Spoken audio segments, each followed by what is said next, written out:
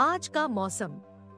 दिल्ली, अधिकतम 21 और न्यूनतम 10 डिग्रीज मुंबई, अधिकतम 27 और न्यूनतम 20 डिग्रीज कोलकाता, अधिकतम 20 और न्यूनतम 14 डिग्रीज बेंगलुरु, अधिकतम 29 और न्यूनतम 18 डिग्रीज चेन्नई, अधिकतम 28 और न्यूनतम 23 डिग्रीज हैदराबाद अधिकतम 30 और न्यूनतम 19 डिग्रीज।